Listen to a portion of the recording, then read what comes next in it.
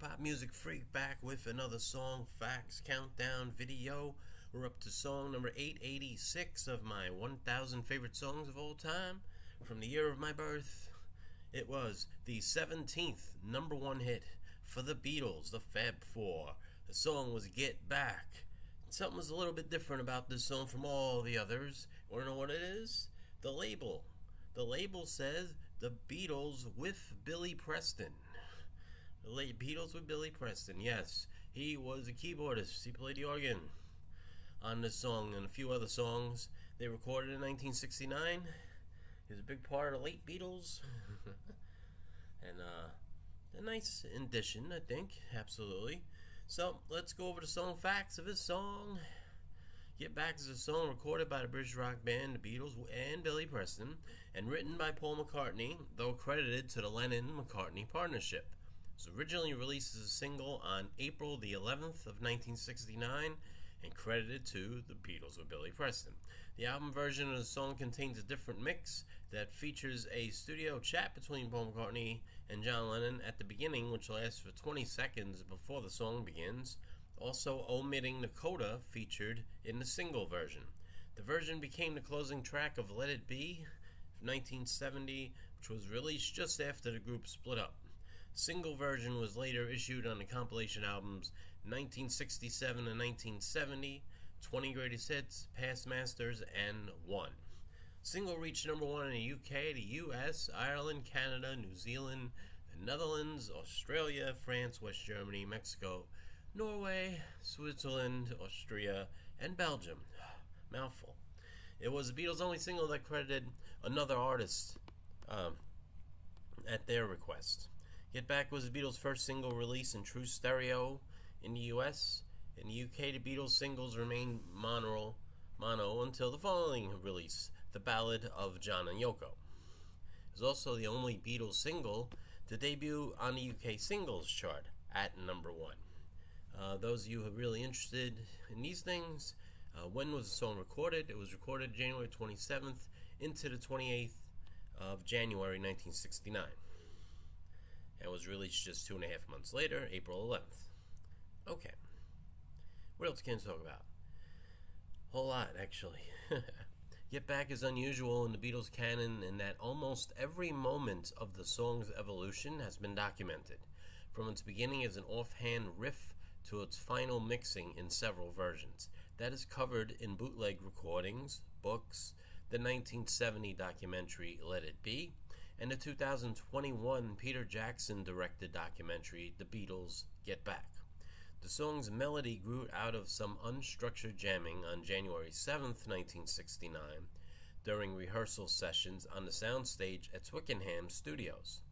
After working out the rhythm and harmony of the primary riff on his Hofner bass, McCartney introduced some of the lyrics, reworking Get Back to the Place You Should Be from former um, fellow Beatles George Harrison's Sour Milk Sea and to Get Back to Where You Once Belonged. McCartney had played bass on Jackie Lomax's recording of Sour Milk Sea a few months earlier. On January 9th, McCartney brought a, brought a more developed version of Get Back to the group with the Sweet Loretta verse close to its finished version. Uh, for the press release to promote the Get Back single, McCartney wrote, We were sitting in the studio and we made it up out of thin air. We started to write words there and then. When we finished it, we recorded it at Apple Studios and made it into a song to roller coast by. at the beginning of the Let It Be version of the song, uh, Lennon can be heard jokingly saying, Sweet Loretta Fart often misheard as fat due to Lennon's pronunciation. She thought she was a cleaner, but she was a frying pan. The album version of the song also ends with Lennon famously quipping, I'd like to say thank you on behalf of the group and ourselves, and I hope we pass the audition. He said that at the end of the January 30th, 1969 round rooftop concert on the roof of Apple Studios but Phil Spector edited it into the studio version of Get Back that was released on the Let It Be album. In an interview with Playboy magazine in 1980, Lennon described Get Back as a better version of Lady Madonna. You know, a potboiler re- rewrite. rewrite. Lennon also said that there's some underlying thing about Yoko in there, saying that McCartney looked at Yoko Ono in the studio every time he sang Get Back to Where You Once Belonged. oh. Early protest lyrics. When McCartney introduced the song to the group during the Twickenham rehearsals, the lyrics were mostly incomplete except for the Get Back chorus. McCartney improvised various temporary lyrics, leading to what would become known in Beatles folklore as the No Pakistanis version. This version parodied the anti immigrant views of Enoch Powell, a member of parliament whose racially charged speeches, particularly the Rivers of Blood speech, had recently gained much media attention. The lyrics address attitudes towards immigrants in the United States and the United Kingdom. Don't need no Puerto Ricans living in the USA, and don't dig no Pakistanis taking all the people's jobs. Though these lyrics were meant to be a parody and a criticism of those prejudiced against immigrants. Later during the same session, the subject of immigration came up again in an improvised jam that has become known as Commonwealth. The lyrics included a line, You'd better get back to your Commonwealth homes. On January 23rd, a group now in Apple Studios tried to record the song properly. Bootleg recordings preserve a conversation between McCartney and Harrison between takes discussing the song, and McCartney explaining the original protest song concept. The recording captures the group deciding to drop the third verse, largely because McCartney does not feel the verse is of high enough quality although he likes the scansion of the word Pakistani. Here the song solidifies in its two verse, three solo format. now, Billy Preston, an old friend of the Beatles, was in England for some television appearances.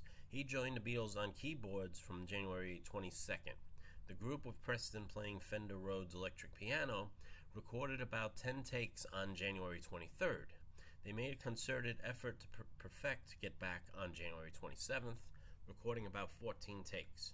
By the time the song had the addition of a false ending and reprised coda, after numerous takes, the band jammed some old numbers and then returned to Get Back one last time in an attempt uh, to record the master take. This performance, take 11, was considered to be the best yet. It was musically tight and punchy without mistakes though the song finishes without the restart. On the session tape, George Harrison comments, We missed that end. This is the version heard on the Let It Be Naked album. On January 28th, the group attempted to recapture the previous day's performance and recorded several new takes, um, each including coda. Whilst these takes were good, they did not quite achieve the quality of the best take from the previous day. The lineup for the re released versions of Get Back was Paul McCartney lead vocal and bass, John Lennon lead guitar and backing vocal, George Harrison rhythm guitar, Ringo Starr drums, and Billy Preston electric piano. Harrison, the usual lead guitarist, had temporarily quit the group on January 10th, so Lennon worked out the lead guitar part himself and played it on the recordings. The Beatles had EMI produce a mono remix of the track on April 4th, completed by Jeff Jarratt. The Beatles were unhappy with the mix, and on April 7th, McCartney and Glyn Johns worked at Olympic Studios to produce new remixes for the single release. They an edited version using the best take of the main part of the song, Take 11, from January 27th, and the best coda ending from January 28th. The edit is so precise that it appears to be a continuous take, achieving the ending Beatles had desired all along. This was a divergence from the concept of straight live performance without studio trickery, but a relatively minor one, and avoids the somewhat abrupt ending of the version that is used on the Let It Be Naked album.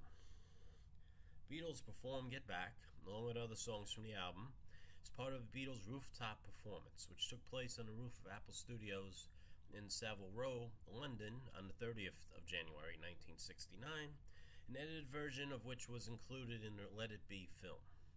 Get Back was performed a full three times. During the third, which marked the end of the rooftop's performance, Beatles were interrupted by the police, who had received complaints from office workers nearby. After the police spoke to Mal Evans, he turned off Lennon and Harrison's amplifiers only for Harrison to switch them back on, insisting that they finish the song. McCartney said, You've been playing on the roofs again, and that's not good, and you know your mummy doesn't like that. she gets angry. She's gonna have you arrested. Get back. The third rooftop performance to Get Back is available on Anthology 3, the last song of the Beatles' final live performance. Um, at the end of the last rooftop performance of Get Back, the audience applauds, and McCartney says, Thanks, Mo, in reply to Maureen Starkey's cheering. Lennon adds, I'd like to say thank you on behalf of the group and ourselves, and I hope we've passed the audition. Spector used some of the talk preceding the master take of January 27th.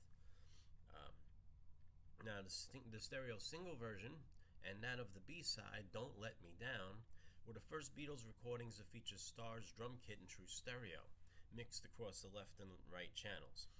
They, this utilized the then fairly new 8 track recording technology and was a result of the growing popularity of stereo over mono.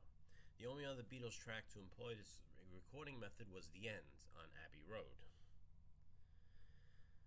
Um, so let's see. The single version was released on uh, April 11th, 1969, paired with Don't Bring Me Down on the B side. The single began its 17 week stay on the charts on April 23rd at number one in the UK and held number one for six weeks in a row. It was the first Beatles single to enter the official UK singles chart at number one. In the US, Get Back began its first of 12 weeks on the Hot 100 chart, the week ending May 10th. Two weeks after the song's chart debut, it hit number one. There it stayed for five weeks. Get Back became the, seventh, the band's 17th number one song in Billboard, matching Elvis Presley's record of 17 number ones. now, this is interesting because they kind of had a little battle for the lead there in 1969. As the Beatles tied Elvis with 17, a few months later, Elvis hit number one with Suspicious Minds, which would be his final number one, his 18th. Then the Beatles tied Elvis again with Come Together hitting number one, so they were tied at 18. Then in 1970, they released Let It Be, the band broke up, let It Be hit number one, and Along and Winding Road hit number one. So then the Beatles took the lead to stay with 20 number one hits.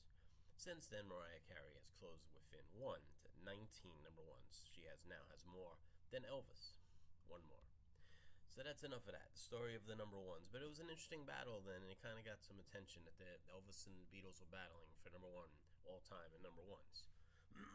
anyway, um, let's see. What else can I say? Uh, it was number one in numerous other countries as well. And uh, don't uh, the B side, "Don't Bring Me Down," "Don't Let Me Down." Sorry, "Don't Let Me Down."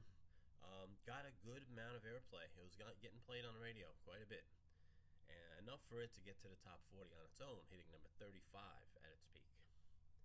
Uh, we'll uh, another video I will discuss how the chart rules have changed the charts and has had an effect on the success or lack of success of certain songs and artists. but uh, yeah, it was an interesting take. It was still B sides was still charting on their own. Um, what else can I tell you about? Uh, McCartney's sung the, the song uh, live here and there through the years, certain points in time, um, including on, including on Saturday Night Live on December 11th, 2010. He played uh, Get Back along with A Day in Life and Give Peace a Chance, which was interesting, his little tribute to John being that Paul's in New York, uh, where John Lennon lived the last part of his life. Now, in terms of cover versions of Get Back, we have Rod Stewart covered it in 1976. Uh, actually, was released and became a number 11 hit in the UK. His version of Get Back. Billy Preston in the movie Sergeant Pepper, Lonely Hearts Club Band. Now, I don't even want to talk about that movie. It was a disaster, even though it had so many huge stars in it. Um, but so, but Billy Preston performed the song on uh, in, in Sergeant Pepper movie and in the soundtrack. And then Steve Wariner, 1995, uh, country artist, did it for the Beatles tribute album "Come Together, America Salutes the Beatles." It hit number 72 on the country chart in 1995. Um, so that's about it. I mean, looking at well, the list of number ones, the list of charts throughout the countries chart positions. Basically hit number one everywhere, basically. Or if not, then top five. Alright, now for the year in chart, 1969, it was ranked the number one song of the year in 1969 in Canada. In the US, it's listed at number 25, Cashbox number 14. Uh, kind of think it should have been ranked higher. On my own little survey I do, I did, I have my own little point system.